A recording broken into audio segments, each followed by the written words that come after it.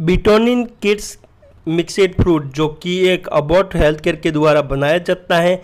दो सौ पंद्रह रुपये का ये तीस जेमिन्स का ये फ्रूट रहता है जो कि यूज़ होता है बहुत सारे केसेस में, जिसमें इसमें विटामिन बी ट्वेल्व रहता है, जो कि विटामिन बी ट्वेल्व की कमी के लिए इसको यूज़ किया जाता है और इसको पीडियाटिक डॉक्टर के द्वारा रिकमेंडेड किया जाता है।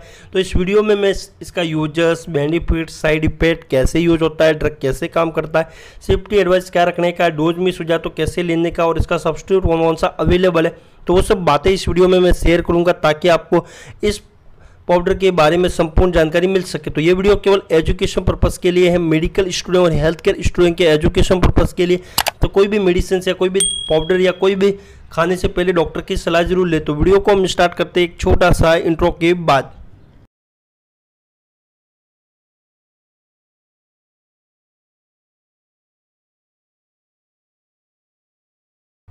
बिटोनिन किड्स जेमिन मिक्सड फ्रूट, जो कि बनाया जाता है। अबॉट हेल्थ केयर के द्वारा बनाया जाता है। 215 का तीस जेमिन्स रहता है इसके अंदर। और ये जो जेमिन्स रहता है, वो हेल्थ सप्लीमेंट रहता है और भूख को बढ़ाने में हेल्प करता है बच्चे के अंदर। इसके अंदर कंटेंट की बात करो तो इसके अंदर साइनोक्लोबामाइंस डाला गया है, जो कि एक विटामिन बी ट्वेल्व से जिंक इसके अंदर डाला गया है, जो कि टेस्ट को इम्प्रूव करता है। और ये कि इंपॉर्टेंट रोल प्ले करता है बुक को बढ़ाने के लिए और इम्यून फ़ंक्शन को करने के लिए।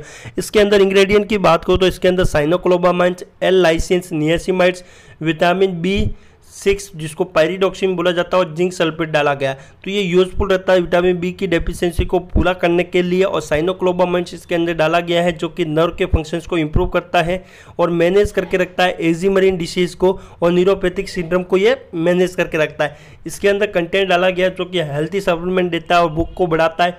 लाइसिन इसके अंदर डाला गया है, जो कि इंप्रूव करता है बुक को और प्रोटीन प्रोडक्शन करता है। जिंक इसके अंदर डाला गया है, जो कि इंप्रूव करता है। टेस्ट और प्रीपेशंस को, जिससे क्या होता है कि जो बहुत इंपॉर्टेंट रोल प्ले करता है भूख को और इम्यूनिटी फ़ंक्शंस को इंप्रूव करने के लिए तो इसको लिया जाता है बूस्ट करने के लिए एनर्जी और पाँच से सात साल के एज के लिए एक जेमी पर डे लिया जाता है और सात साल के ऊपर के लिए दो जेमी पर डे लिया जाता है। तो इसके बारे में अगर आपको कुछ भी डाउट रहे तो कमेंट सेक्शन में पूछ सकते हो। अदरवाइज़ जो डिस्क्रिप्शन में ईमेल आईडी है, वहाँ पे पूछ सकते हो चैनल पे। और वीडियो पे पहली बार आप विज़िट किए तो हमारे चैनल को ज़रूर सब्सक्राइब करें। साथ में जो बेल आइकन है, उसको दबाए, ताकि जब भी मैं नेक्स्ट वीडियो अपलोड करूँ तो आप तक एक नोटिफिकेशन पहुँच जाए। तो आज के लिए इतना ही। मिलते हैं नेक्स्ट वीडियो में। तब तक के लिए अपना ख्याल रखें।